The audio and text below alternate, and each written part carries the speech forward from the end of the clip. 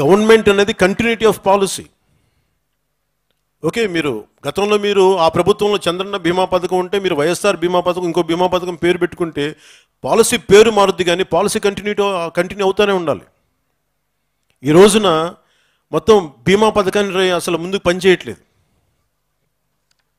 ఉదాహరణకి బీమా పథకానికి ఎంతమంది వచ్చారంటే ఈ రోజున బీమా పథకం బీమా అందట్లేదు అనేది దాన్ని మీకు ఇది వివరిస్తాను. గతంలో రెండు వేల పదిహేను పంతొమ్మిదిలో మూడు వేల కోట్లు ఇరవై ఐదు లక్షల కుటుంబాలకి పరిహారం వచ్చింది. రెండు వేల పంతొమ్మిది ఇరవై రెండులో వీళ్ళు ఇచ్చిన బీమా దాదాపు మూడు సంవత్సరాలకి అరవై ఐదు కోట్లు మూడు వేల మూడు వందల డెబ్బై ఐదు మందికే పరిహారం చెల్లించారు ఇప్పుడు దాకా ఇంకా నూట ఇది ఎంత చెల్లించారు? నూట నలభై ఐదు కోట్లు ప్రీమియం చెల్లించారు. చె చెల్లించి వాళ్ళు కట్టింది ఈ రోజుకి అరవై ఐదు కోట్లు చెల్లించారు. అంటే ఇన్ని లక్షల మంది దాదాపు ఆరు వేల మంది మనం అనుకుంది. వాళ్ళు వచ్చింది. బీమా ఇవ్వాల్సింది. చాలా వేలాది మంది బీమా ఇవ్వాల్సి వస్తే మూడు వేల మంది పైచీలకు బీమా ఇవ్వాల్సి వస్తే ఈ రోజుకి ఇవ్వట్లేదు డబ్బులు ఉన్నాయి అన్నీ ఉన్నాయి. కానీ వాళ్ళు ఇవ్వట్లేదు ఈ రోజుకి. ఇది ఎవరు అడిగేవారు లేరు. వాళ్ళు అందరూ వచ్చి అడిగేది కనీసం మీరు చెప్పండి మా బాధని చెప్పండి మీ మీ గళం వినిపి మా గళ మాది మా బాధల్ని మీ గళం ద్వారా వినిపించండి జనసేన గళం ద్వారా వినిపించండి అని చెప్పి. మరి ఇటు వెళ్ళిపోతున్నాయి. ప్రైవేట్ ఇన్సూరెన్స్ కంపెనీకి ఇచ్చారు. గతంలో గవర్నమెంట్ ఇన్సూరెన్స్ కంపెనీలకు ఇచ్చేది ఒక వచ్చి ప్రైవేట్ ఇన్సూరెన్స్ కంపెనీలకు ఇచ్చారనుకుందాం ఇస్తే మధ్యలో మళ్ళీ ఒక దళారిని పెట్టారు. క్యాబినెట్ ఉంది మంది ముఖ్యమంత్రులు ఉన్నారు క్యాబినెట్ ఉంది ప్రభుత్వ శాఖ అధికారులు ఉన్నారు చీఫ్ సెక్రటరీస్ ఉన్నారు. గతంలో ఇవేమీ లేకుండా ఒక గవర్నమెంట్ ఇన్సూరెన్స్ కంపెనీకి ఇచ్చేసేవాళ్ళు. ఈ రోజున మళ్ళీ మధ్యవర్తిని పెట్టి దానికి సంబంధించిన మరి ఏం జరుగుతుందో తెలియదు కానీ అవసరం లేని ఒక మధ్యవర్తిని పెట్టి ఆ ఫండ్ ఎటు వెళ్ళిపోతుందో వీళ్ళకైతే న్యాయం జరగట్లేదు పరిహారం రావట్లేదు. వాళ్ళు నిజంగా ఒక్కొక్కళ్ళు ఇంటిలో బాధలు చూస్తూ ఉంటే కన్నీళ్ళు కష్టాలు.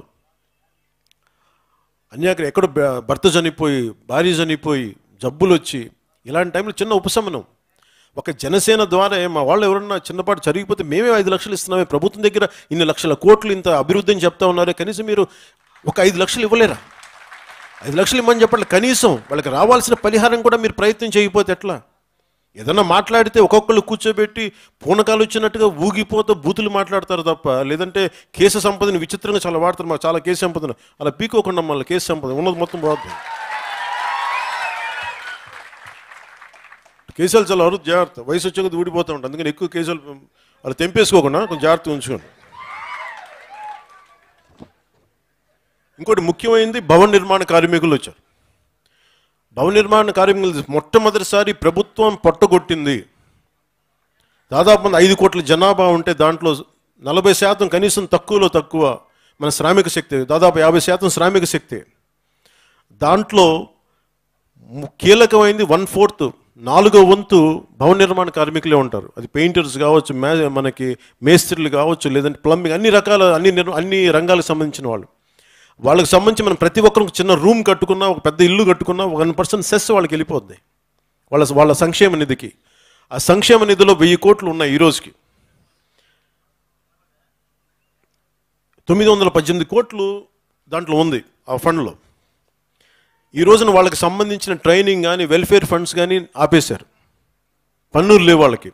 ఇసుకని అడ్డగోలుగా దోచేస్తున్న వాళ్ళు. ఆ చెప్తుంది ఏంటంటే కొంతమంది ఇసుక దొరుకుతుంది కానీ ఇదంతా కలిపి పక్క కర్ణాటకకి వెళ్ళిపోతుంది తమిళనాడుకి వెళ్ళిపోతుంది కానీ ఇక్కడికి వచ్చేటప్పటికి చాలా పిరియం అయిపోతుంది ఒకప్పుడు ఆరు వేలకు దొరికి ఇసుక వీళ్ళు అక్రమాలు అక్రమాలు అని చెప్పి పోయినసారి నేను లాస్ట్ టైం ఈ గళవెత్తిందే అక్రమంగా జరుగుతుంది ఇసుక ఇసుక దోపిడీ జరుగుతుందా అంటే వీళ్ళు ఇంకా దానికి రెచ్చిపోయి దానికి ఒకంతలు కాదు.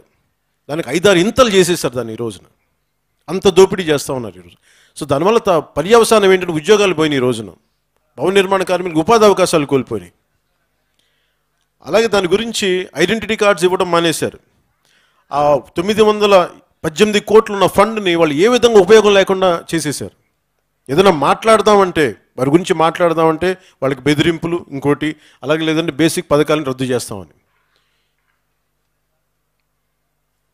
గత మూడు సంవత్సరాలుగా మేడే అనేది నిర్వహించడం మానేశారు వైసీపీ నాయకులు. అంటే కార్మికుల మీద ఏమాత్రం ఏ పార్టీ గౌరవం ఉందో మనకు అర్థమవుతూ ఉంటుంది.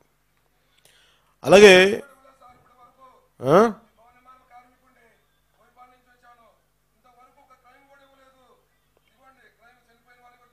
ఖచ్చితంగా మాట్లాడు. చూశారు కదా భవన నిర్మాణ కార్మికుడి తాలూకు వ్యధ. అలాగే గత మూడు సంవత్సరాలుగా మేడే నిర్వహించట్లేదు. మినిస్టర్స్ ఉన్నారు లేబర్ మినిస్టర్ ఉన్నారు. లేబర్ మినిస్టర్ ఏం చేస్తారు ఒక్కసారి కూర్చొని మాట్లాడాలి కదా. వీళ్ళ సమస్యలను తెలుసుకోవాలి కదా. పరిష్కరించాలి కదా ఎవరు మాట్లాడరు. ప్రతిదానికి ఒక ముఖ్యమైన అన్ని అన్ని విభాగాలకు సంబంధించి అన్ని మంత్రివర్గానికి సంబంధించి ఒకటే మంత్రి. సజ్జల గారు లాంటి పెద్దలు ఉంటారు. మరి ఆయన కూడా దొరకరు మరి. అలాగే ఎయిడెడ్ స్కూల్ టీచర్స్ వచ్చారు.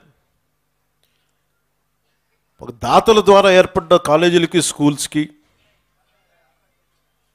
దాతల ద్వారా ఏర్పడ్డ కాలేజీలకి స్కూల్స్కి ప్రభుత్వం సహాయం చేయాలి. స్థలం వాళ్ళు ఇచ్చారు.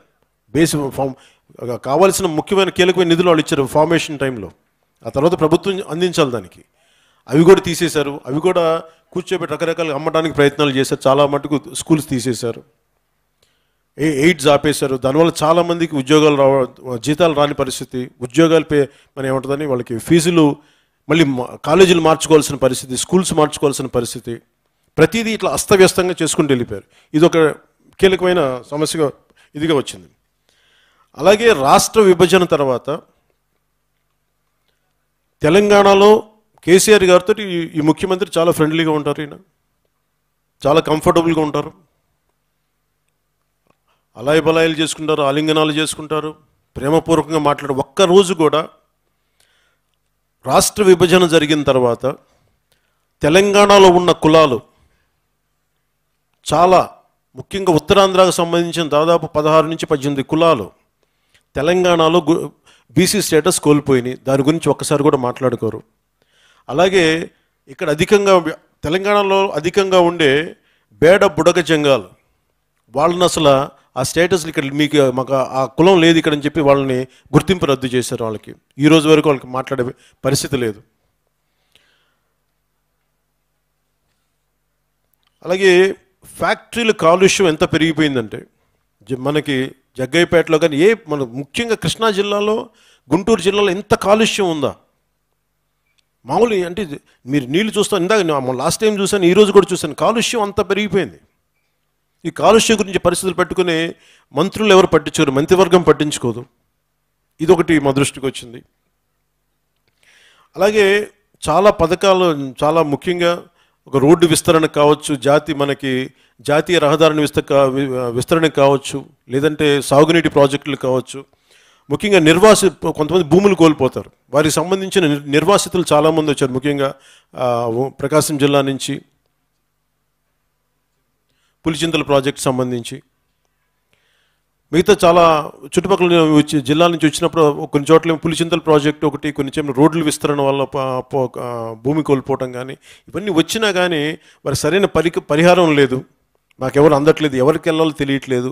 వెళ్తే ఎవరు పట్టించుకోవట్లేదు తీసుకుంటున్నారు మాట్లాడుతున్నారు కానీ పని అయితే ముందుకు సాగట్లేదు అనేది ఒక ప్రధానంగా మా దృష్టికి వచ్చింది. ఇంకా చాలా బాధాకరమైంది ఏంటంటే ఈ రోజున బాలింతలకు సంబంధించి గర్భిణీ స్త్రీలకు సంబంధించి ఎవరైనా సరే మన ఇంట్లో మన ఇళ్ళలో మా అక్క చెల్లిలో మన ఇంట్లో వాళ్ళకి ఎవరికైనా గర్భిణీ వస్తే మన గర్భం దాలిస్తే మనం ఎంతో చాలా జాగ్రత్తగా చూసుకుంటాం. అలాంటిది ప్రభుత్వం రకరకాల పథకాల ద్వారా కేంద్ర ప్రభుత్వం కానీ ఇవన్నీ కానీ ముఖ్యంగా ఈ పథకాలు ఏమిటో గర్భిణీ స్త్రీలకు కావాల్సిన పోషక మనకు పోషక పౌష్టికాహారం కానీ ఇవన్నీ ఇద్దామని ప్రయత్నం చేస్తే ఈ అంగన్వాడీ కేంద్రాల్లో నుంచి డైరెక్ట్ వాళ్ళ ఇళ్ళకి వెళ్తాయి. అలాంటిది ఇప్పుడు కొత్తగా ఇల్లు గత నెల నుంచి పెట్టింది ఏంటంటే మీరే వచ్చి మీరు ఆహారం తీసుకోండి ఇక్కడికని. లేదంటే మీరు డెలివరీ అయిన తర్వాత మీకు వచ్చే కిట్ కూడా మీకు ఇవ్వం. బిడ్డకు బిడ్డకి కావాల్సిన కిట్ కూడా మేము ఇవ్వం.